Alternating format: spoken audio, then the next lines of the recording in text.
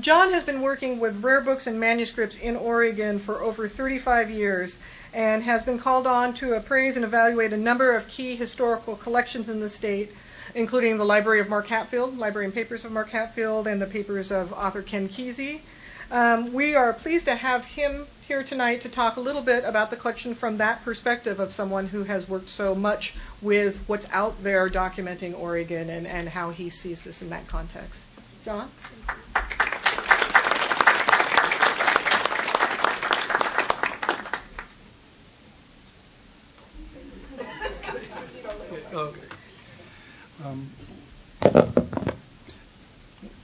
First of all, I want to thank you, Charlotte. I'm deeply honored to be part of this.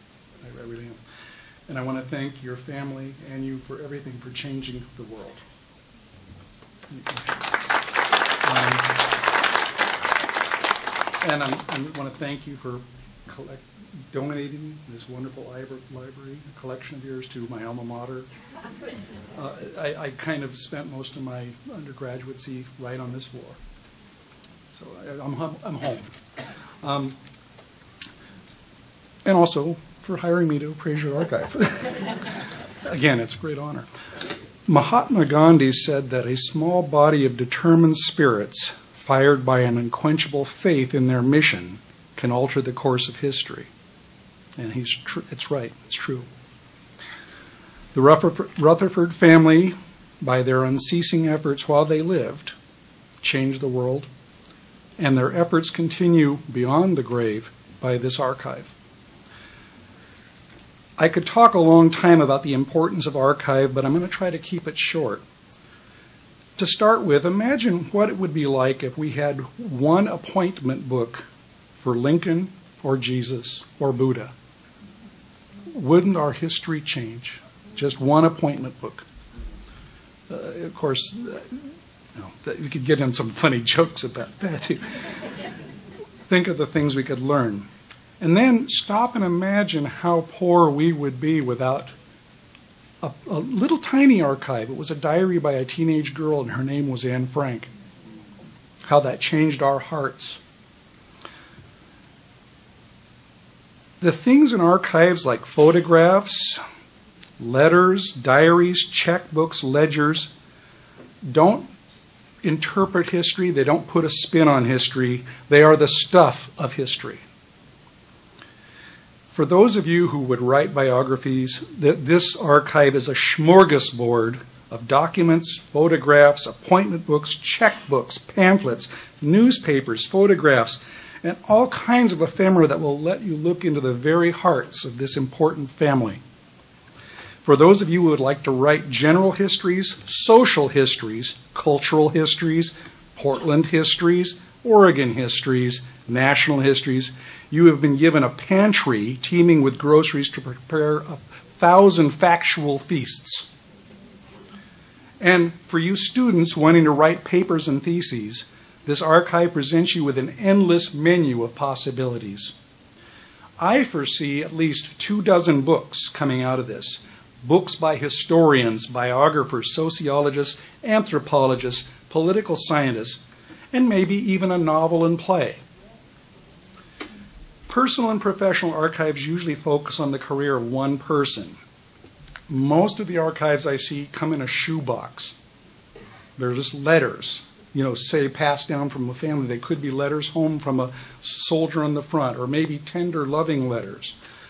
Uh, then there's the archives usually kept by some professional feller who's got 10 boxes of everything he did in his career or her career. Such archives are wonderful snapshots into history. If these are snapshots into history, this archive is a full length feature film in color, produced by Cecil B. DeMille and a cast of thousands. This is a very important archive. I have appraised the personal letters of Mark Hatfield. I have appraised the professional archive of Ken Kesey. I have appraised some, all the president, lots of letters from Presidents Washington up to George W. I'm waiting for Barack's letters next. I've, I've handled lots of things. This is the most significant, historically significant collection I have ever appraised.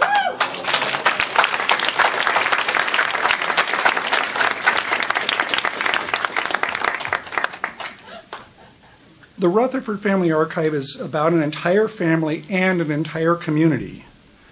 In this regard, the Rutherford family is an exceptional, and that's why it's significant. The historical value is derived from the fact that it is source material, it is derived from the fact that it is complete. And I mean every scrap of paper. I know I've gone through it.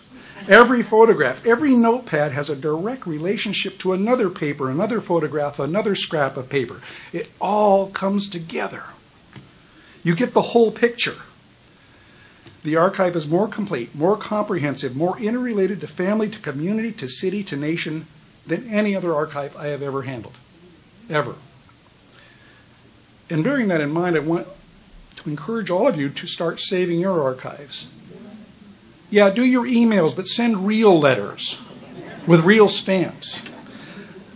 And I want you to do like the Rutherford family, and when you take a photograph, take two minutes and identify on the back or on the side who is in that picture. Because to future generations, this is gold mine of information. It puts people in a community. Who was with you when? Whether we like it or not, we're all part of history. And that's why we must preserve our heritage with archives. I encourage your, your children and their children to keep adding to this archive. Save, ev- yeah, save everything.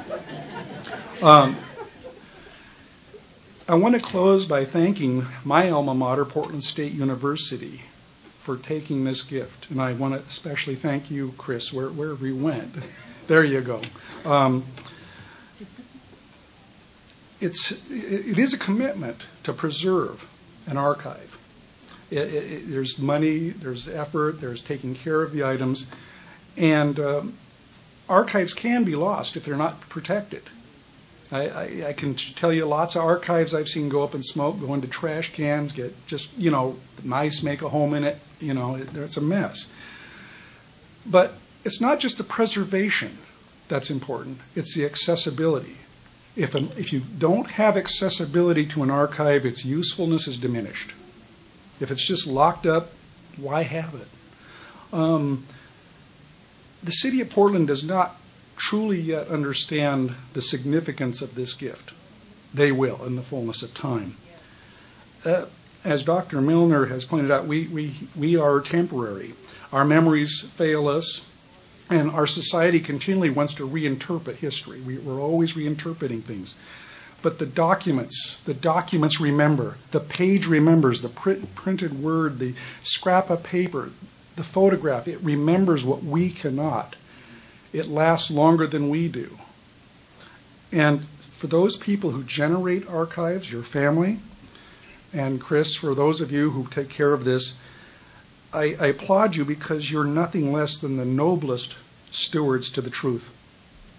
Thank you.